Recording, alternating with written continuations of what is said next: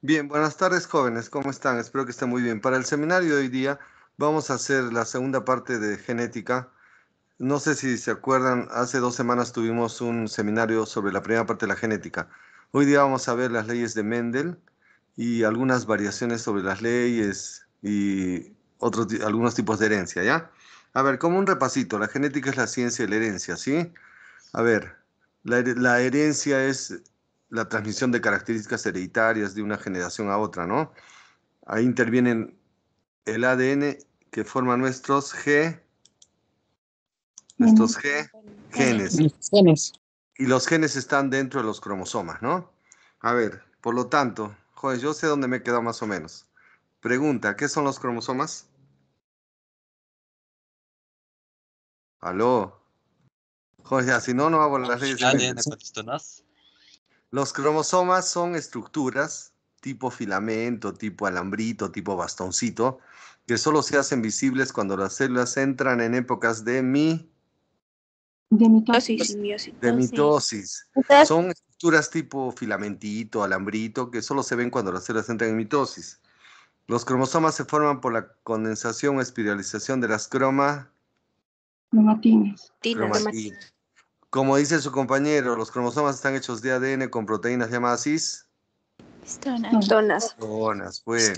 Ahora, ellas tienen nuestro, esto, ahí está toda nuestra información genética formando nuestros genes, ¿correcto? Y eso vamos a transmitir a nuestros descendientes. La cantidad de cromosomas depende de cada especie, ¿sí? Al humano le corresponden 40 y 26. 46 o 23 pares en cada célula. Jóvenes, vimos un cuadro de cantidad de cromosomas en algunos ejemplos de especies, ¿sí? Que quedamos, llegamos a la conclusión de que el tamaño de la especie no tiene nada que ver con la cantidad de cromosomas.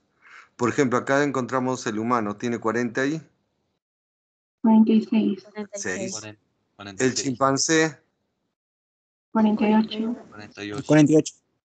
la liebre, 46, 44. 46. ¿qué? 46. Miren, 46. los helechos, que son plantas, 1000. 200. 260. Miren, la paloma que es más chiquita que nosotros, ¿cuánto tiene? 80. 80. 80.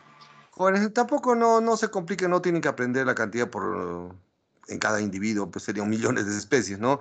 Solamente que cada especie tiene su número fijo. Y la cantidad no tiene que ver con el tamaño. ¿Sí? Nada más. A ver ya. Sigamos repasando. ¿Cómo se clasifican los cromosomas? Según la herencia que transmiten, son somáticos y sec Sexuales. sexuales. Los somáticos son los primeros 42, perdón, 22 o 44. ¿Por qué se llaman somáticos o autosomas? Soma. Codifican Cuerpo. características corpo, Corporal. Oral. corporales, físicas, que no son las sexuales, ¿no? Esos son los 22 pares. El último par es el par sexual, se llaman cromosomas sexuales.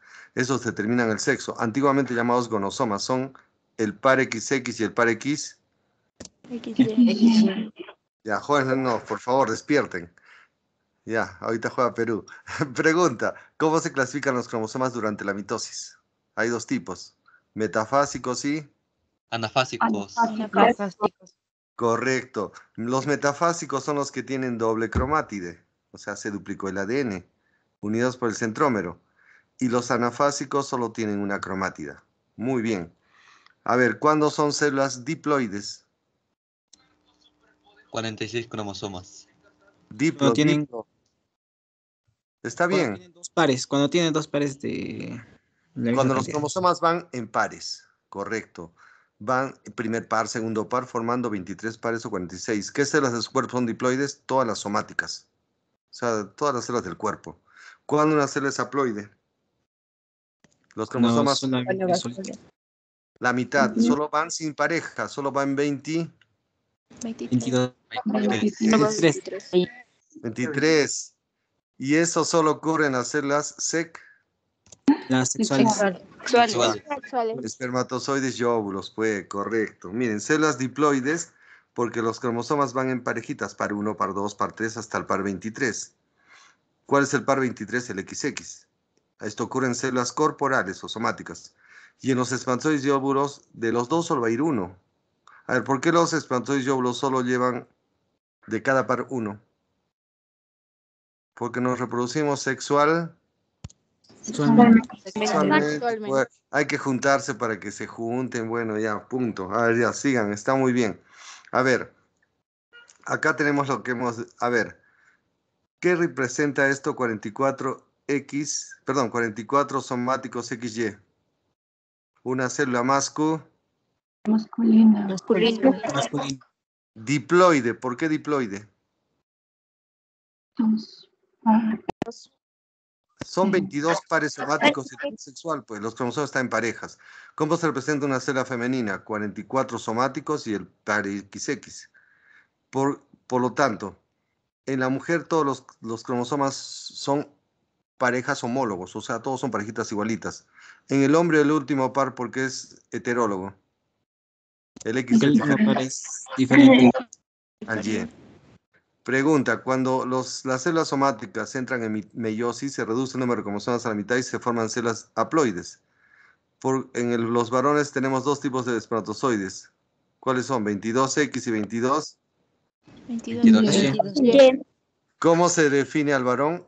Hetero. Ga. Me- Gamético. heterogamético. Tenemos dos tipos de gametos. ¿Por qué la mujer es homogamética? Que tiene 22. Tiene un Todos- todos, todos sus cromosomas son parecidos. Son lo mismo, 22Y, Son 24, 22, correcto. Pregunta, en la fecundación, ¿quién determina el sexo? El esper El espermatozoide. Espermatozoide. Espermatozoide. Es- al azar. Es al azar, o sea, no se sabe el que llegue primero, ¿no? Muy bien. Ya, hasta ahí van perfecto. A ver, un cromosoma tiene las siguientes partes. Mejor con un dibujito, ¿ya? A ver, este es el cromosoma en metafase porque tiene dos cromátidas, ¿correcto? Acá está el AD, el ADN. Los cromosomas metafásicos, hay un punto que parte las cromátidas en dos. Se llama el CEN. Centrómero. Centrómero. Correcto. Ahora, en el centrómero hay unas proteínas llamadas cinetocoros. Acá se fijan las fibras del uso acro, acromático, Cromático. Para que cuando se parta lo- la mitad del cromosoma sea arrastrado a los polos. Ahora, en los cromosomas, cada cromátida es dividida en brazos, ¿no? Puede ser un brazo corto y brazo largo. Ahora, en algunos cromosomas hay un estrangulamiento llamado la constricción secund Secundaria. Secundaria. Secundaria. y se encuentra en algunos como un bultito llamado el saté. Satélite. ¿Qué son los telómeros? Las partes finales de los cromosomas que les dan estabilidad, ¿sí? Son como las, eh, ¿se acuerdan las patitas? Telo, lejos, ¿no? Muy bien, ya hasta ahí va más o menos. A ver ya. ¿Cómo se forman los cromosomas? Durante la mitosis, los cromosomas, en el núcleo está el ADN con las histonas formando las croma. croma- Cromatín. Pregunta, ¿cuál es la unidad de la cromatina? Los nucleosomas. ¿De qué está hecho un nucleosoma? De ADN, de ADN con is. Histonas. Una vez que llegue la mitosis, las fibras de cromatina empiezan a espiralizarse más, más, más y condensarse y se, y se convierten en nuestros cromo, cromosomas. Cromosomas. Correcto. Muy bien, jóvenes, hasta ahí perfecto, ya. Pregunta, ¿cómo se clasifican los cromosomas por la posición del centrómero? Cuatro tipos. Cuando el centrómero divide al cromosoma en brazos iguales, metacéntrico. Metacéntrico. Si un brazo, si unos brazos son más grandes que los otros, Eh, submetacéntrico. Metacéntrico. si los brazos son muy grandes y los otros muy pequeñitos, Mm, Acrocéntrico. Acrocéntrico. Si el centrómero está en la posición del telómero y divide solo, solo hay un brazo, telocéntricos. Pregunta, Telocéntricos. ¿cuáles pertenecen a la especie humana? Solo tres. No, solo hay- en nuestras células solo hay meta, submeta y acro. Los telo no. Estos no hay en nuestra especie. Se encuentran en algunos tipos de plantas. El humano no tiene este. A ver ya. Pregunta clave. ¿Qué es el cariotipo humano? Cario no es núcleo. ¿Qué es el cariotipo humano? Cromosomas que pertenecen al ser humano. Correcto. Está bien. Es la clasificación de nuestros cromosomas según su tamaño y forma. ¿Sí? El cariotipo humano es clasificar a los 23 pares de cromosomas según su tamaño y forma. Según el tamaño y forma, en, nuestro, en nuestras células hay tres tipos de cromosomas. Metacé- perdón, metacéntricos, submeta Meta, submetacéntricos. y acrocéntricos. Su- según el tamaño son, pueden ser grandes, medianos o... Pequeños. Pequeña. Pues, ¿qué es el cariotipo humano? Es clasificar a los cromosomas del humano como los clasifican los alumnos. Ya los más altos van adelante, los medianos al medio, los chiquitos después. O sea, es clasificar a los cromosomas según su tamaño y su forma. Y por el tamaño tiene que haber grandes, medianos y pequeños. Y por la forma solo hay tres tipos, metacéntricos, submetacéntricos y acro.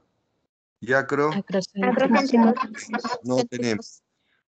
Los, la ciencia los clasifica en grupos que va de la letra A a la letra G. Por ejemplo, en el, donde está la mayor cantidad es en el grupo C. Va del par 6 al par.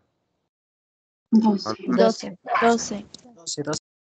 En el grupo G solo hay dos, el par 21 y el par 22, ¿correcto? Y los sexuales que son aparte, el X podría ubicarse en el grupo C y el Y en el grupo G, ¿sí? A ver, hasta se acuerdan que les conté, ¿por qué el espermatozoide, que, cuál es la diferencia entre el cromosoma X y el Y? Son diferentes, El en tamaño. cuanto a forma y tamaño. Tamaño. Correcto. El X es submetacéntrico y el Y es acrocéntrico. También se diferencian por el tamaño. El X es de mediano a grande y el Y P Pequeño. Pequeño. pequeño. Hasta les conté. ¿Quién pesa más, un espermatozoide que porte X o que porte Y? El que porte porta. X. que porta X. El que porta X es más grande. Es, perdón, es más pesado porque el Y, el X pesa más que el Y. Correcto. Inclusive hablamos del sexo que se usa en laboratorio para decidir el sexo de, las de los descendientes, ¿no? Bien, hasta ahí van más o menos. A ver ya. Pregunta, ¿qué son los genes? Joder, si no saben eso, no vamos a entrar a las leyes de Mendel. Los genes son las unidades de la herencia. Los genes son lo mínimo que va a determinar una característica, la unidad hereditaria. Los genes son la mínima unidad o la mínima estructura que tiene información para determinar una característica. Ahora, los genes están compuestos por fragmentos o pedazos de AD, de AD, ADN. Son pedazos de ADN. Por lo tanto, como en un cromosoma hay mucho, cada fragmento es un gen, acá hay otro gen, otro gen. Un pedazo de ADN va a determinar una característica, ¿ya? Ahora, solo en el caso de algunos virus como el COVID, el VIH, sus genes están hechos de AR, ARN. ARN. ARN, correcto. Ahora, todos los genes de una especie se denominan el G, Genoma. genoma. Conjunto de genes de una especie. En el humano hay más de 30.000 genes. ¿Sí? Ahora, ¿de qué están hechos los genes? Son fragmentos de ADN. Y este, este fragmento va a ser copiado por el ARN y en qué será traducido? En una proteína. Proteína. La proteína. Y esa dará una característica, correcto. ¿Dónde se localizan los genes? Dentro de los cromosomas. Dentro del cromosoma. Los cromosomas. En unos lugares exactos llamados lo- Locus. lo- Loki. Ah, Locus, locus. Locus es el lugar donde encontramos un gen. Como en un cromosoma hay muchos locus, se forma un conjunto de posiciones para genes. Se llama él. Lo. Lo- losi. lo- sí, Muy bien, jóvenes, ya. Bueno, creo que hacer seminarios después de tiempo los, se les olvidan, pero no se preocupen, ya a ver, ya. Pregunta, ¿qué es la clave para la genética? ¿Qué son genes alelos o alternantes? Alelo, acuérdense de alado. ¿Qué son genes alelos? Dígame con su vocabulario. Genes que están al lado. Ya. Y que entre los dos se tienen que poner de acuerdo para determinar una característica. Por ejemplo, nosotros recibimos la herencia de papito y mamita, ¿no? Papito envía 23 cromosomas, mamita otros 23. El par 1, del par 1 viene uno de papito, el del otro viene otro de mamita, ¿correcto? Se, se juntan los cromosomas formando el primer par, el par 1. Si un cromosoma hay un gen para una característica, al lado del mismo tiene que haber el mismo gen que determina la característica. Alelo es al lado. Entonces, ¿qué son genes alelos? Genes que, están en la misma posición de dos cromosomas homólogos. Y se tienen que poner de acuerdo para determinar la característica, al lado, alternantes. Un alelo tiene que venir de papá y el otro de, ¿de quién? De mamá. De mamá, De mamá. de mamita. mamá. Ahora, esos alelos al lado es como mi compañero está al lado. Ya, yo mando, tú no, yo mando, ¿quién manda? Ya, alguien tiene que mandar. Ahora, los genes se representan con letras. Ya, en genética. Si un alelo prevalece sobre otro, se llama el alelo domi, Dominante. Dominante. se le pone mayúsculas. Si el otro se deja ganar y no se expresa el alelo re, o gen Recesivo. Recesivo. Jóvenes, ya, si no me entienden, más fácil es esto, ¿ya? Cuando se forma el humano, somos producto del espermatozoide y el óvulo. En el espermatozoide vienen 23 cromosomas, ¿correcto? De, los, de cada pareja solo uno. En el óvulo vienen otros 23, hasta ahí bien, ¿no? Se juntan en una primera célula que es el cigote. ¿Hasta ahí entendido, jovencitos? ¿Aló? Sí, sí, profe. Sí, profe. Ya. Sí, profe. Entonces, profesor. el- la primera célula que se forma en el humano tiene 46. Y de esos 46 es lo mismo decir 23 pares. Par 1, par 2, par 3, hasta el par 23. Ahora, digamos que este es el par 1. Como son cromosomas uno de papá y otro de mamá, son iguales, se les llama homólogos. Un cromosoma viene de papá y el otro de mamá. Hasta ahí bien. Ahora, como en los cromosomas hay genes, si en, esta posición de este cromosoma hay un gen que determina una característica, como dice acá el color de ojos, al lado, en la misma posición, tiene que haber el mismo gen que ten- tenga que definir también la misma característica, color de ojos. Ahora, entre los dos se tienen que poner de acuerdo, pues dice, yo traigo la información para color de ojos café, yo para color de ojos azul. Ya, si el niño nace con color de ojos cafés, es que el alelo café mandó al, al azul, ¿no? Entonces, a ver, ya tienen que saber esto para entender.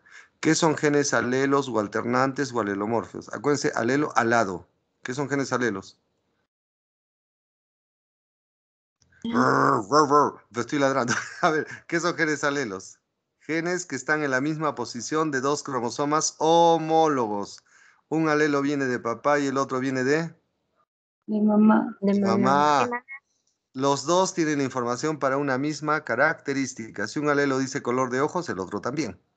Si este dice color de pelo, su alelo también color de pelo. ¿Ya? Ahora, estos se tienen que alternar, por eso alternantes, poner de acuerdo para con qué característica nace el descendiente. Si, uno pre- si un alelo le prevalece sobre el otro, le van a decir el domi. Dominante.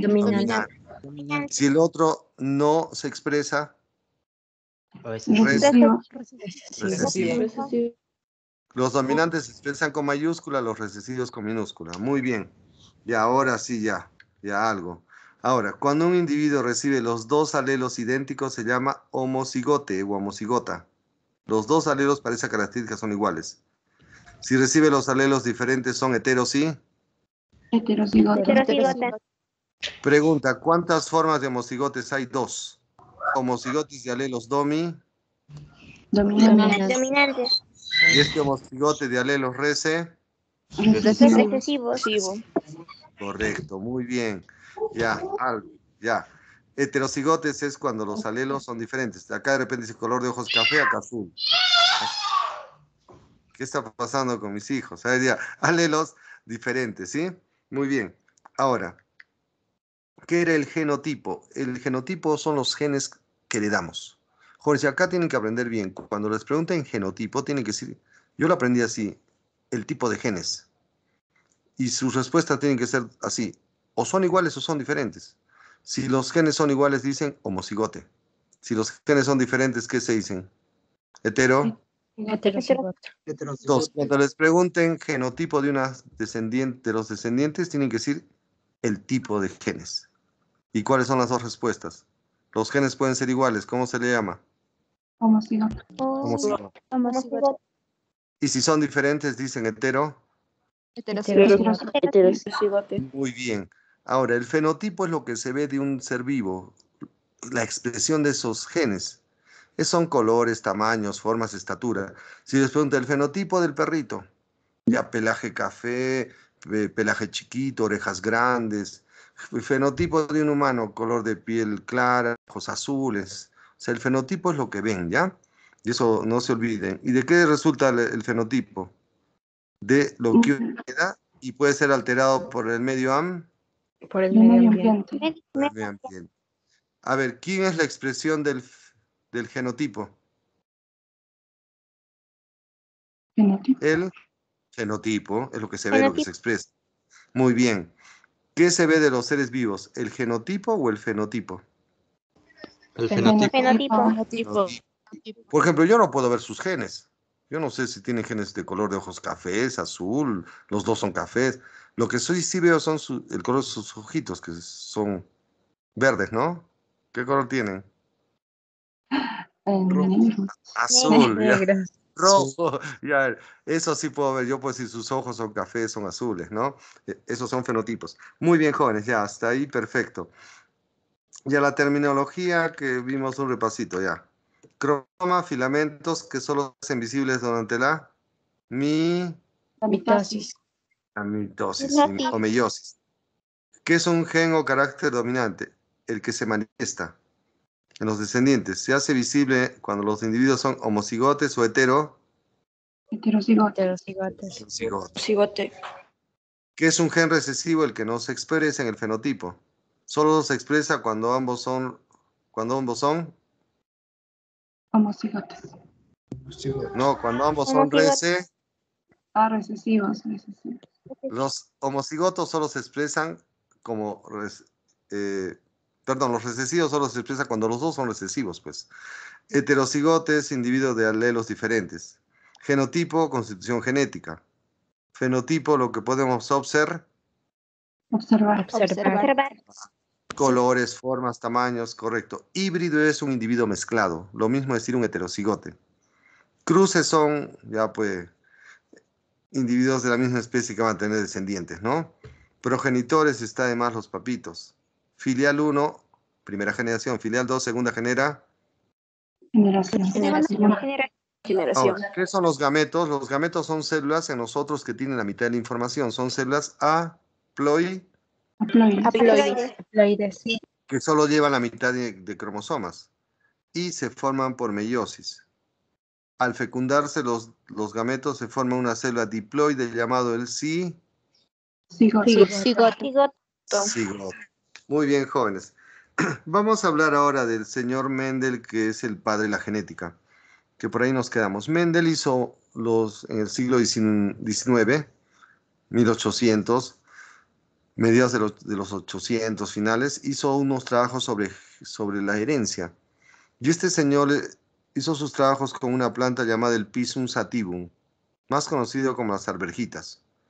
¿Por qué usó esa planta? Porque la planta en seres de la misma especie presentaba características contrastantes, con semillas verdes, otras amarillas, distinto color de flor, distinta envoltura de las semillas, posición de, del tallo. Entonces, usó esa planta por sus características contrastantes.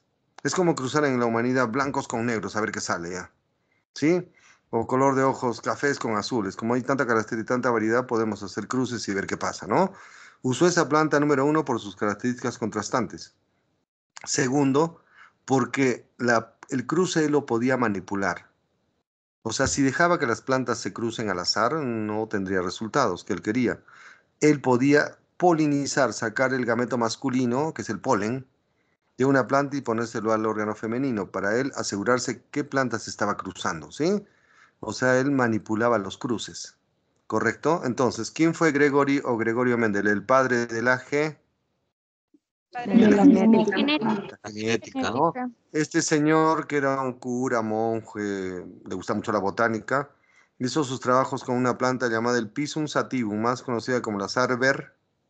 Arvejitas. ¿Por qué eligió esa planta? Por varias razones. La misma especie tenía distintas características en cuanto a la forma de sus semillas, tamaño, colores. Y él podría cruzarlas. Él podía polini, polinizarlas. ¿sí? Polinizar. O sea, juntar el, o sea, asegurarse de qué plantas se estaban reproduciendo.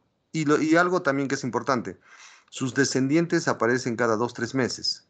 O sea, cruzaban las plantitas, producían semillitas, las sembraba y sus hijitos aparecían rápido. O sea, no tenía que esperar años, ¿no? O sea, sus descendientes aparecen rápido. Y eso fueron los motivos por los cuales hizo sus trabajos de la genética, ¿sí? Ahora, Mendel dio al mundo tres leyes. La primera ley se llama la ley de la uniformidad. Para esto, Mendel cruzó de dos individuos puros, que ahora llamamos homocigotes, que se di- diferenciaban por un carácter, o sea, digamos que una uno tenía semillas verdes y el otro amarillo, y vio qué ocurría en sus descendientes, y vio que en sus descendientes solo aparecía una, una característica, uniformidad, todos fueron igualitos. Mejor vamos a verlo con una lámina, ¿ya? Miren. Mendel cruzó semillas de color amarillo contra semillas de color verde. Y en la primera generación, sus hijitos, todos le nacieron amarillitos. Mendel dijo, pero ¿por qué no ha nacido ninguna verde? Acá hay algo. Las plantas tienen unos factores que ahora llamamos genes, que prevalecen sobre otros. Él dijo, el gen que dé el color amarillo. Bueno, jóvenes, aunque yo hablo ya modernamente, saben que no es por desmerecerlo al Mendel, ¿ya? Nos vamos a hacer tiras al Mendel, ya, mejor, mejor dicho, ya. No porque odia a Mendel, sino Mendel no sabía que era un gen. De verdad, Juan Mendel ha vivido en el siglo XIX, o sea, 1860, 70. Pregunta, ¿ahí se sabía cómo era el ADN? Dígame. Hablen. No. No. ¿Se No. acuerdan que los estudios de Watson y Crick, 1953? Sí, siglo XX. Segundo, no sabían que era un gen. No tenían lo que tenemos ahora, unos supermicroscopios. O sea, Mendel, bueno, pobrecito, pero ya importante, ¿no? Dijo, esta plantita tiene una- un factor. El factor que dé el color amarillo domina el factor que dé el color verde. Por eso cuando esta plantita recibe un factor amarillo y un verde, como el amarillo domina el verde, todas las semillas nacieron amarillitas. Ahora lo mencionamos con genes. ¿Por qué todas nacieron amarillas? Porque el factor gen que dé el color amarillo domina el gen que dé el color Verde. Verde. Ahora, pero Mendel, ¿saben cuál fue su, su por? Por ejemplo, para hacer estos cruzos bus- buscó individuos de línea pura. ¿Qué significa esto? Que esta semilla amarillita, su papito era amarillo, su abuelito era amarillo, su tatarabuelo era amarillo. O sea, venía de una línea amarillita, por lo tanto se dio ese trabajo de encontrar una línea de pureza. O sea, este sabía que era pura. O sea, solo tenía genes amarillos y esta verde. O sea, tuvo que hacer eso. Entonces, cuando cruzó esto, aparecieron amarillas. Ahora, ¿cómo se explica biológicamente? Si nosotros vamos a cruzar, como cruzar humanos, este es papito y este es mamita, ¿ya? Si van a tener, papito tiene dos genes para el color amarillo, mamita dos genes para el color verde. ¿Hasta ahí se entiende? ¿Aló? Sí. Ya. Si papito quiere tener hijitos con mamita, papito debe producir los gametos, o sea, espermatozoides y óvulos. El papito el espermatozoide y mamita los óvulos. Saben que los gametos llevan la mitad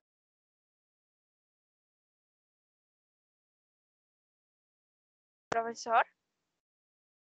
Profesor, Profe, nos va el profe. profe. Creo que me quitaron de la- reunión. Chicos, Amigas, no tengan la reunión, de pe, ¿quién Sí fue? son. Compañeros, no se pasen. pues no sean así. la envidia, la envidia. Sí, no sean así. Para la próxima ya no va a haber seminarios, van a ver. Sí, en serio, no, no, no nos van a poner seminarios. Chicos, ¿por qué hacen eso? Creo que el profesor no se dio cuenta. A mí también me votaron. Ya. Ya, jóvenes, regresé, ya, no se preocupen, ya, sigamos nomás, ya. No, no pasa nada. Sí, sí, sí, déjenlo ahí, ya. Ya, miren, ah, es que estaba tan emocionado con Mendel, lo está destruyendo. Bueno, ya les decía. O sea, ¿cuál fue el, su valor de Mendel? O sea, Profe, no Lo compartiendo. ah, está compartiendo. Sí, sí, sí, ya, ya lo voy a compartir ahora, no se preocupen. Ya, Profesor, Ahora- Lo sentimos a nombre de nuestro compañero que lo votó. ahora, ¿ven? Sí, Sí. profe. Se ve. Sí, profe, sí se ve, sí se ve. Dale, Ya. miren, entonces, estábamos acá, perdón. La primera ley de Mendel, o sea, ya le estamos acá. Papito se va a casar con mamita, ¿ya? Papito, es, sus células son diploides. O sea, yo tengo un gen de papá y otro de mamita, ¿sí? En mis cromosomas. Entonces, si papito quiere tener hijitos, primero tiene que producir espermatozoides. Y los espermatozoides de papito llevan la mitad de la información, o sea, separan esto. Un espermatozoide lleva una A y el otro otra A. No hay más probabilidades.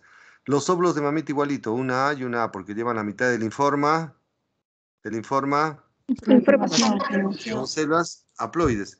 Se fecunda espermatozoide con este óvulo, este espermatozoide con este óvulo. No hay más probabilidades, por lo tanto, todos los descendientes serán. Ahora, ¿de qué color? Ama. Amarillos. Amarillo. Amarillo. Respondan. Amarillo. ¿Cuál es el genotipo de todos los descendientes? Genes diferentes, son hetero, Heterocigotes. Heterocigotes. heterocigotes. Heterocigotos. Correcto. ¿Y el fenotipo es de color ama? Amarillo. Amarillo. Correcto. Ahora, pregunta. ¿Por qué ninguna semilla nació verde? Joder, no sé, sería el colmo, ¿ah? Es recesivo. No, ya, está bien, pero Recesivas. no hay... Ya, joder, me dicen, lo, me lo dicen bien, pero yo lo voy a corregir. Es que no hay la posibilidad en los descendientes que se junten dos as minúsculas. ¿Hay la probabilidad de que se junten dos as minúsculas? Dígame. No. No, No, no, no hay, no jamás se va a juntar un, un gen amarillo con un verde. Solo, perdón, pero jamás se van a juntar dos genes verdes. Imposible. Entonces, solo nacieron de color amarillo, ¿sí? ¿Hasta ahí bien? Ahora, estos individuos también se llaman híbridos. Pregunta, ¿por qué son híbridos? Mezclados para una caraj. Para una Característica. Son mezclas, son mezclas. Y ahora, ¿por qué se llama ley de la uniformidad, que se expresa así? Cuando cruzamos individuos puros, homocigotes, para una característica, en los descendientes todos nacerán igualitos. Por ejemplo, puede ser en humano, ya. Si, eh, escuchen, si el papá es alto, digamos, ya, y sabemos que ese gen es dominante, y es alto puro homoci- homocigote, que sus ancestros son altísimos. Mamá es una chatita, todos sus ancestros son chatitos. ¿Qué debe ocurrir en sus hijos? ¿Deben nacer todos con la misma caraj? Característica. Característica. o salen, si el gen alto domina al enano, todos van a ser altos. Si el gen enano domina al, al alto, serán ¿eh? enanos. Enano. Que ahorita vamos a ver variantes, ¿ya? Ya está bien, jóvenes. Ahora, esta es la primera ley de Mendel. La segunda ley de Mendel se llama la ley de la segregación de genes o alelos, o lo que él llamaba factores. Mendel dijo, ¿qué pasa ahora si cruzo a los hijitos para obtener los nietos? Voy a cruzar a las semillas amarillitas que he obtenido, que son heterocigotas, para ver qué ocurre con los nietos. Y, eh, y acá estableció su segunda ley, la ley de la segregación de genes o alelos. O sea, cruzó a los hijitos, estos son los hijitos que hemos obtenido, ¿no? ¿De qué color? ¿De qué fenotipo? Ama.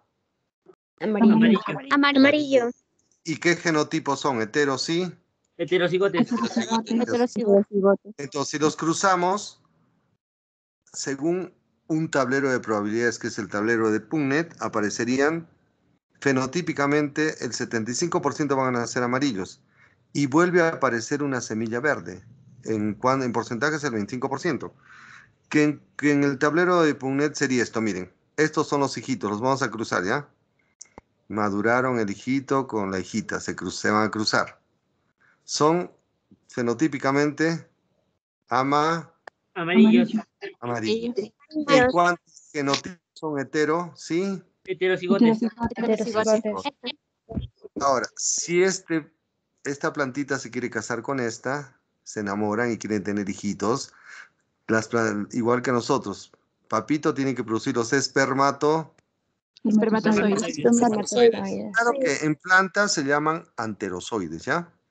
Y mamita tiene que producir los óvulos. En plantas se llaman ósferas. Es como igual que el humano, ¿no? Estos son las únicas formas de espermatozoides y estas son las únicas formas de gametos femeninos. Y este tablero es para ver las probabilidades. Si este lo fecunda este, saldrá amarillo, este también amarillo, este amarillo. Y acá y otra vez se vuelven a juntar dos genes para el color, para el color El color verde. verde. Entonces, miren, ese se llama el cruce de los monohíbridos. Mono 1, híbridos para el color. O sea, son mezclados para el color. O sea, este es amarillo, pero también tiene un gen para el color verde. Pregunta, ¿por qué se le ve amarillo? El gameto dominante. Es dominante el, el color amarillo. El gen amarillo es dominante del verde. Es como que ustedes jóvenes, de repente te ocurre esto, sus ojos son cafés, pero no saben que tiene un gen de color de ojos azul. De, de repente, ya en sus hits puede ocurrir, ¿no? Ya cuando se casen ya verán. No, mentira, ya, bueno. Entonces, estos son heterocigotes. Miren, esta es la meiosis. Por meiosis se van a producir los ga, gamé. Gametos. Gameto. Estos son los Gametos. posibles gametos masculinos y otros son los posibles gametos feme. Femenino. Femenino. Y estas son todas las posibilidades de cruce, pues, ¿sí? Ya usando el tablero de el tablero de sería lo mismo. Estos son gametos, jóvenes. Ojo, siempre en el tablerito que se maneja así, en los extremos se ponen los gametos y el gameto lleva la mitad del informa Información. Información. y en estos recuadros se pone ya los posibles cruces. Si se junta esperanzoide con este óvulo, este, eh, con este óvulo y así. ¿Correcto? A ver, conclusiones de, estas, de, estas, de este segundo cruce. En cuanto al genotipo de los descendientes, el 50% fueron homocigotes. Miren, este es homocigote y este también es homoci, Homocigote. De los cuales el 25% son homocigotes de genes dominantes y este de genes rece- Recesivos. recesivos. Ahora, En cuanto al heterocigotes, ¿cuántos son? El 50%. Dos. 50%. 50%. Correcto. Ahora, el fenotipo, en cuanto se ve del total de la población, el 75% van a ser de color ama Amarillo. Amarillo. Amarillo. el 25% de color Verde. Verde. Verde. Verde. en fracciones. Del 100% de descendientes, las tres cuartas partes son Las tres cuartas partes son amarillas. Amarillo. solo una cuarta parte Es verde. verde. Es verde. Verde. En cuanto a proporción, por cada tres amarillos aparece uno de color. Uno de color verde. De color De verde. color verde. Pregunta, ¿por qué sol, la, la menor cantidad de la población de descendientes es verde? Porque Fácil. Porque es el homocigote recesivo. Y hay menos Sí, sí, sí. probabilidades de que se junten estos dos. Basta que cualquiera de los descendientes lleva una mayúscula, tome el color verde. Para ser, a- perdón, amarillo. Estoy ya Antonio. Para ser a verde, los dos genes tienen que juntarse. Y hay menos probabilidad. Menos probabilidad. probabilidad. Ya, jóvenes, ahora, yendo más allá, ¿cómo Mendel, escuchen, demostró que esta planta era homocigota? Por ejemplo, si yo les pongo las semillas en su mesa, les digo, esta es amarilla, esta también es amarilla, las dos las miran amarillas, sí, profesor, las dos. Yo quiero que me, que me, que me digan cuál es la homocigote y cuál es el heterocigote, porque los genes no se ven. ¿Cómo podrían saber que este es homocigota y este es heterocigote? Si se ven amarillas. Lo que hizo Mendel, hizo cruces para comprobar. O sea, obtuvo estos descendientes y dijo, ¿cómo sé que este es amarilla homocigote y este es heterocigota? Simple. Si a esta la hacemos desarrollar y la, la hacemos reproducir con otra semilla igualita, ¿qué ocurre? La autofecundamos. Todos sus descendientes van a ser de qué color? Color amarillo. Amarillo. Amarillo. De comprobación. Si esta la hago desarrollar, produce muchas semillas, las cruzo, solo con de este tipo. Volverán a salir amarillas y tienen que aparecer semillas. Una semilla verde. Una semilla verde. Se llaman cruces para la comproba. Para la comprobación. Comprobación. Comprobación. ¿Qué dice esta ley de Mendel? Dice que los miembros de un par de alelos, acá son alelos al lado, se tienen que separar. Pues se llama la ley de la separación de alelos o genes. Al separarse los genes irán a formar los gametos. ¿Sí? Y los gametos se unen al azar. Es igual que en el humano ya. ¿Cuántos genes tengo yo para el color de ojos? Dos. Uno viene de papá, otro de mamá, correcto. ¿Aló? ¿Sí?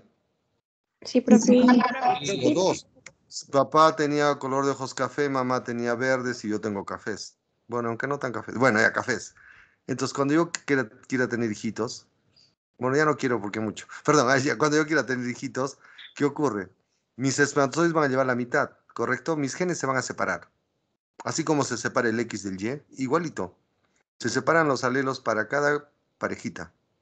y mi espermatozoide solo lleva un gen, ¿correcto? Igualito es en las plantitas. Bueno, ya.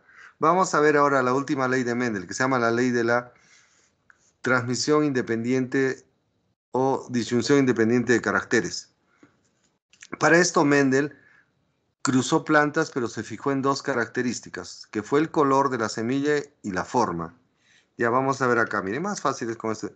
Se fijó en el color de una semilla amarilla y este era el color verde. Y se fijó en otra característica más, la superficie, esta es suavecita, lisa y esta es arrugadita. Ahora, siempre partió de individuos puros. ¿Quién me dice cómo son, por qué son puros? Homocigotes. Son homocigotos. Homocigotos. Ya, ¿por qué este es puro? ¿Cómo sabe que es amarillo y de liso puro, homocigote? Su papá también era amarillo liso, su abuelito. Pues, Sus antecesores siempre eran amarillos. Amarillos. Amarillos. Tuvo que, por eso la pureza, por eso hizo muchos trabajos, pues, como acaso de la noche a la mañana. Ahora, los cruzó y vio que en, en este cruce los descendientes solo aparecieron amarillos y a la vez lisos. Dijo, qué raro, ¿por qué ninguna me ha nacido verde? Bueno, ya sé que el verde es el recesivo. Y ahora, la superficie lisa domina la arru. A la rugosa. Diga, Entonces, obtuvo los famosos dihíbridos. ¿Por qué estos se llaman dihíbridos? Híbridos o mezclados para dos características. Híbridos para el color y para la forma. Ahora, dijo, ¿qué ha pasado con el factor que da el color verde y el que da la superficie arrugada? Voy a cruzar a los hijitos para obtener los nietos. A estos los cruzó, miren. ¿Ya? ¿Me están entendiendo, no? Estos son los hijitos, acá ya crecieron, van a casarse y van a tener hijitos. ¿Hasta ahí se entiende? ¿Aló? Sí, sí, profe. Sí, sí, sí. Sí, sí, profe. Si este papito quiere tener hijitos con esta señorita, que son plantitas, dice, vamos a tener hijitos ya. Papito tiene que producir los gametitos. Y el gameto de este pareja solo lleva uno. De la otra pareja va a llevar uno. Y así se van formando los gametos. De esta pareja lleva uno y se puede juntar con la otra B. Los cuatro, estos son los cuatro posibles gametos. Gametos, pues digamos que son los espermato. Espermatozoides. Espermatozoides. Como la hembra es lo mismo, sus posibles espermatozoides son estos. Ahora, ¿qué hacen los gametos? El masculino y el femenino, cuchicuchi, chacachaca, sexo. Se tienen que unir en la fecund. La fecundación. La fecundación. Digamos que este espermatozoide fecunda este óvulo. Puede fecundar este óvulo. Todas son las probabilidades de fecundación. Entonces, en la segunda generación obtuvo la mayor cantidad de semillas amarillas y a la vez lisas. ¿Sí? Nueve de las 16 probabilidades. Tres fueron amarillas y arru, Amarilla, rugosa. Jugada. tres fueron verdes y a la vez lisas. Y solo una amarilla arru. Arrugada. arrugada. Ahora, ¿y qué de, jóvenes, a qué va- viene todo esto? ¿Qué demostró con esto Mendel? Que los miembros de un par de genes, este es un par que tiene una característica, es otro par que tiene otra característica, se tienen que separar independientemente uno del otro. O sea, el par que tiene que determinar el color de las semillas se tiene que separar. Y también se tiene que separar el par que tiene que dar la forma. Ya es, vamos a hablar del humano. Yo he heredado genes para el color de ojos café y verde, ¿ya? ¿Sí? También he heredado genes para el color de ojos normales y chinos. ¿Correcto? Ese es otro par de genes. Entonces, cuando yo produzca espermatozoides, en mis espermatozoides, el par que va a dar el color de ojos se tiene que separar. Solo va a ir uno del espermatozoide. Ahora, el par que va a tener la forma del ojo también se tiene que separar. Porque la mujer pondrá los otros, ¿correcto? Igualito es en plantitas. Entonces, ¿qué dice esta ley de Mendel? Los miembros de un par de genes, ¿qué tienen que hacer? Sepa, Separar. Separarse. separarse. Independientemente del otro par. Y si hay más pares, cada par se separa y da mayor cantidad de probabilidad. Probabilidades. Se llama la ley de la separación independiente de alelos. O sea, el, el par que determina el color de ojo se separa. Aparte de otro par que determina la forma del ojo también se separan. Otro dirá el tipo de pestañas también se separan. Entonces todos se van separando. ¿Y dónde van todos esos genes? A los ga, a los ga, gametos. Y después viene la unión para determinados descendientes, ¿no? Ahora, acá hay una proporción de 9, 3, 3 a 1. Pregunta, ¿por qué aparecen más semillas verdes, amarillas y a la vez lisas? Porque son los genes Amarillas Los genes dominantes. dominantes. ¿Por qué solo aparece una del total de 16, una verde y a la vez rugosa? Está compuesto por Es la recesiva. Y esta es la única probabilidad de que se probabilidad. con este, con este óvulo. ¿Sí? ¿Entendido? Entonces, ¿cuáles son las tres leyes de Mendel? La ley de la uniformidad uniformidad. o dominancia, todos deben ser iguales. La ley de la separación de los alelos, solo cuando se fijan en una característica. Y si se fijan en dos, cada la ley de la segregación o separación independiente. Independiente. Independiente. Independiente. Muy bien, jóvenes. Hay algunas modificaciones que vinieron post-Mendel, después de Mendel. Por ejemplo, ahí está la dominancia intermedia, que se vio después. O sea, según Mendel debería ser así, pero no- posteriormente hubo más estudios. Se llama la dominancia intermedia o incompleta. Esto ocurre cuando se juntan dos genes y uno quiere mandar y el otro también dice, yo mando, yo mando, ya pucha, y ahora qué hacemos, los dos queremos mandar. Ya no nos, no nos peleemos que nuestro descendiente te- aparezca con un fenotipo intermedio. Ya tú tienes color de ojos cafés, yo verdes, ya entonces que salga, pues pardo ya. Sí, no va a salir ni café ni verde, ya que salga mezcladito, ¿no? Eso se llama dominancia intermedia, es cuando se juntan individuos y ninguno de los dos genes va, va a aparecer en el descendiente. Al juntarse esos genes diferentes, el individuo, el hijo va a tener una característica fenotípica intermedia. Y esto lo van a ver fácil, miren. Ocurre con flores. Si se juntan flores rojas con blancas, según Mendel, ¿qué debería ocurrir? O salen rojas o salen O salen blancas. blancas. Pero se ve que aparecen rosadas. Entonces, dice, ¿pero por qué aparecen rosadas? Mendel estaba loco. Bueno, este, sí, en parte, ¿no? Bueno, ya. Entonces, no todo es Mendel. Entonces, acá esta flor es roja, tiene dos genes rojas, te- tiene dos genes blancos. Cuando se junta en los descendientes un gen rojo y un gen blanco, el fenotipo, lo que se va a ver, ¿ah? del descendiente es intermedio entre rojo y blanco, tiene que ser rosado. ¿Y el genotipo cómo es? Hetero. Intermedio. ¿Por qué heterocigote? Recibe genes dife. Genes diferentes. Diferente. Ya, acá lo ven otra vez. Flor roja, roja contra blanquita. Tienen dos genes, correcto, papito y mamita. Para tener hijitos tienen que producir los gametos. Solo llevan la mitad del informa. La mitad de La información. La información. Solo hay esta forma de unión, no hay más. Este con este y todos los hijos saldrán pues una R de papito, R de mi- mamita. Todos serán rosaditos, ¿sí? Ahora, pero, pero ¿qué ocurre con los genes? No hay un gen que dé el color rosado. Es cuando se juntan los dos y aparece el fenotipo intermedio. Y se demuestra en la segunda generación. Oh, se demuestra en la segunda generación. ¿Qué ocurre? En la segunda generación se cruzan pues las eh, flores rosadas y miren, si cruzamos estas flores rosadas, tienen un gen rojo y un gen blanco, un gen rojo y un gen blanco. ¿Está bien? Formarán sus gametitos, espermatozoides rojo, blanco, rojo, blanco. Cuando este espermatozoide fecunda este óvulo, vuelve a nacer ¿qué? Roja. Roja. Rojas.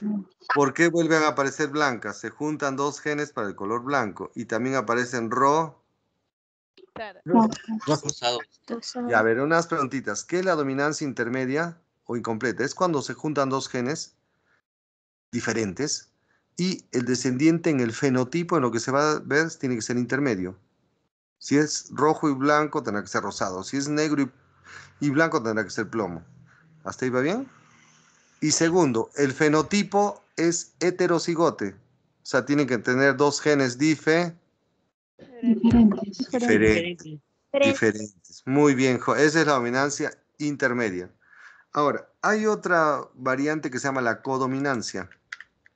Yo lo aprendí así, cojunto. Co significa al lado, junto. Es cuando se juntan dos alelos eh, y los dos van a dominar. Dicen, yo mando, yo mando, ya, no nos peleemos, cuñado. Ya, ¿tú qué color dices? Café. Yo, ya, yo azul. Ya, pues entonces ya exprésate tú y yo me expreso, los dos, no nos peleemos. No quiero que sea el intermedio. Entonces, cuando se juntan dos genes, los dos se tienen que expresar. Por lo tanto, los descendientes tienen una característica mezclada en cuanto al fenotipo y también son heteros y gotes. Miren, y esto es- acá a veces se confunden, miren. Ya. Por ejemplo, acá en, en el ganado, se da en el ganado, en el plumaje. Si la mamita vaca es de pelaje blanco y el torito negro, según Mendel, ¿cómo deben hacer? O nacen blancos o nacen... Negro. Negros. Si fuera dominancia intermedia, Plomito, plomito. Pero acá los dos se expresan, dice ya, yo tengo los genes para blanco y yo tengo para genes negros. Forman sus gametitos, ¿correcto? Solo lleva una B que se junta con esta N. ¿Hasta ahí entendido? Cuando se juntan estos dos genes blanco y negro, los dos se van a expresar. Por lo tanto, los de los terneritos van a tener el pelaje blanco y a la vez parte Manchas negras. Parte Parte negra. Negro, negro y blanco. Parte- Igualito acá, la gallinita se enamora de este gallo blanco, ¿sí? Es, todo este, el gallo blanco se enamoran, hacen sus cositas y van a tener sus hijitos. ¿Y cómo nace? Como decimos, jaspeado. Manchas blancas y manchas Negras. Negras. negras. Jaspeado, pues, co- como, la cebra, ¿no? Muy bien. Ahora, esto en animales. En animales se da mucho en el plumaje, se da en el, pelaje. En el humano también tenemos esto. En la herencia del grupo sanguíneo. La herencia del grupo sanguíneo es determinado por, también por codominancia. Ya, esto es bien interesante, jóvenes. Los grupos sanguíneos se, se diferencian de dos maneras. Uno es el sistema ABO. Eso es controlado genéticamente por genes que heredamos. Y ahí hay en juego tres genes que vienen que hay en nuestra especie. El alelo A, que es mayúscula dominante, el alelo B, que es también dominante, y el O, que va a ser el recesivo. ¿Ya? Ahora, ¿qué ocurre en el caso de los humanos? Acá va a pre- pres- presentarse la codominancia. El alelo A y el B son dominantes sobre el O. ¿Ya? Este es dominante y este también es dominante. El O va a ser el recesivo. Por lo tanto, ¿cómo seríamos los grupos sanguíneos en cuanto a genotipo? Ya llego a la más fácil. Si a mí me sacan sangre y me dicen, señor, usted es A, ya he heredado un gen A de papá y otro gen A de mamita. Este viene en el espermatozoide en el óvulo. O sea, soy un A de genotipo homocigote. Otra forma de ser A, heredé un gen A de papá y un gen O de mamá. Pero como el A manda lo, sigue, sigo siendo que hablen. Sigue siendo A. Sigo siendo A. Los B, hay B homocigotes y B heterocigotes. Y acá viene la codominancia. Si yo heredo un gen A de papá y un gen B de mamá, o sea, los dos genes se expresan. Por lo tanto, el- en mis pruebas de sangre me dirán, señor, usted es AB. O sea, mi grupo sanguíneo será AB. Los dos genes se expresan. Ahora, si heredo 2O, que es el universal, los dos son recesivos, ¿correcto? Ya a ver, para seguir esto. ¿Qué es la co- codominancia? Cuando dos genes se expresan, ¿ya? Se da mucho en animalitos, en, en pollitos, en las aves, en, los, en el pelaje de, los, de las aves. Perdón, el plumaje de las aves y el pelaje de los, del ganado. En el humano, ¿dónde sea la codominancia? En el grupo sanguíneo. El grupo sanguíneo. ¿Dónde está la codominancia? En las que tienen A, A, B. A ver. A AB. Se expresa el A y se expresa el B.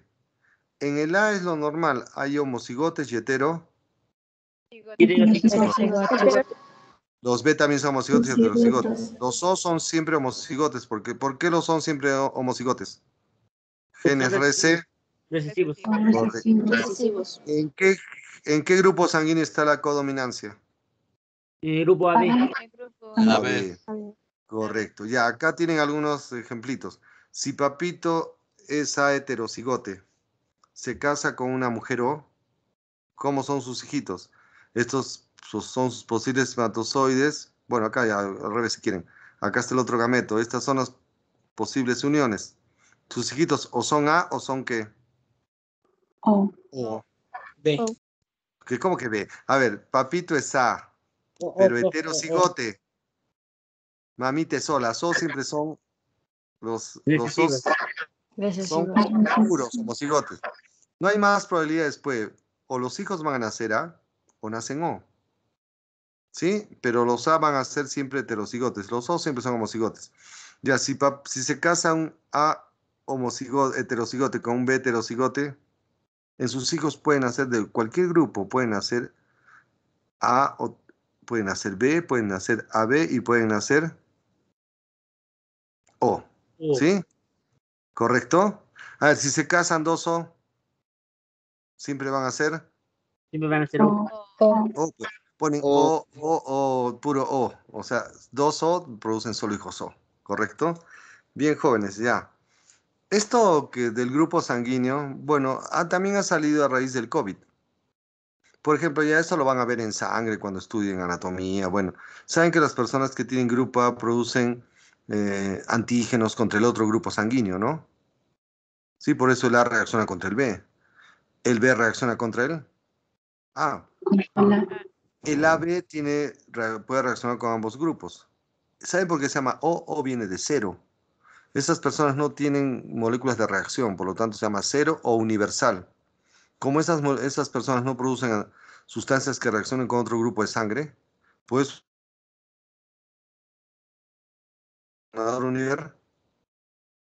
Universal. universal. Este el O puede dar a todos, porque O significa cero. O sea, se han- ya hemos hecho muchas veces antígenos y anticuer. Y Anticuerpos. Anticuer. Nosotros producimos los anticuer Los anticuerpos. Anticuerpos. para bloquear antígeno. Entonces, si una persona tiene A, va a producir anticuerpos para el otro grupo, que sería el B. Si tiene B, va a producir anticuerpos para el otro grupo, que es el, El A. El A. el A. Si es AB, produce anticuerpos para ambos grupos. Por lo tanto, a la vez se llama el receptor universal. Él puede recibir los dos porque se puede defender contra los dos. El O, como no produce sustancias de reacción, cero, O viene de cero. Esa persona, si entrega sangre, no va a dañar a otro. Por eso se llama el donador univer- Donador universal. Universal. Universal. universal. Bueno, ya. Punto. Vamos a ver ya algo bonito que les he puesto una imagen más. También la sangre se diferencia por el factor RH. Este factor de reacción en la sangre se encontró en los glóbulos rojos de, de los monos resus y ahí se encontró una sustancia que reaccionaba. Y solo había dos posibilidades, o tenían el factor o no lo tenían. Si tenían el factor positivo, si no lo tenían negativo, ¿ya? Eso, son, eso se hereda. Y se notó, por ejemplo, que, lo, que el, el gen que da lo positivo es dominante sobre el negativo. O sea, el factor que el gen que tiene que ver con, con lo positivo es dominante y el gen que tiene que ver con el negativo es recesivo. Por lo tanto, las personas positivas pueden ser homocigotas o hetero, ¿sí? Por si yo recibo un gen posi- RH positivo de papito y otro RH positivo de mamita, soy RH positivo, pues también. Si recibo un positivo de papito y un positivo de un negativo de mamita, sigo siendo posi Positivo. Positivo. porque el positivo domina negativo. Ahora, para ser negativo, tengo que recibir dos genes negativos de papito y de mamita. Por lo tanto, los negativos son homo, sí. Homocigotas. Homocigote. Ya, a ver. Pregunta, si se casa papá homocigote positivo y mamá es negativa, porque las negativas siempre son homocigotes, ¿cómo nacen sus hijos? ¿Siempre nacen posi? Positivo. Positivos. Si se casa un positivo heterocigote con una negativa, la mitad de los hijos pueden ser positivos y la otra mitad puede ser nega. Negativos. Negativos. Muy bien. Jóvenes, y acá viene algo que les voy a poner ya, con esto concluyo. Por ejemplo, hay una enfermedad cuan- que se produce por incompatibilidad de los grupos sanguíneos, sobre todo el factor RH. Por ejemplo, si la mamá tiene RH positivo, puede producir anticuerpos contra el otro grupo que es el negativo. Entonces, por eso cuando una mujer es- tiene grupo contrario del que, de su bebito, en el primer embarazo no hay problema porque no hay mezcla de sangre. En el parto va a mezclarse la mujer como que recibe sangre del otro grupo. Es como las vacunas, se vacuna y ya va a producir los anti, anticuer. Anticuerpos. Anticuerpos. Anticuerpos. Entonces, si ya tiene anticuerpos, los anticuerpos atraviesan la placenta y van a destruir los glóbulos rojos del bebito y se produce la eritroblastosis fetal. Mujeres que envían anticuerpos al niño y le van destruyendo sus glóbulos, sus glóbulos rojos. De ahí sale la enfermedad, la eritroblastosis fetal. viene de destrucción de los glóbulos rojos del feto. ¿Quién le va destruyendo sus glóbulos rojos? La, La madre. la mamita. ¿Qué le va a enviar? Los anticuerpos. Anticuerpos. Anticuerpos. Muy bien, jóvenes. Bueno, ya me pasé el tiempo, disculpen, ya, ya ves, por, es- ya, por hablar. Espero que hayan aprendido, si quieren después la repasamos. Cuídense mucho. Y arriba Perú. Yo, profesor. Hasta luego, profesor. Gracias por la clase. Hasta luego, profesor. Hasta luego. Hasta luego, profe. Cuídese. Profito, creo que hay prácticas de eso, ¿no, Profito? Para hacer ejercicios, creo que hay.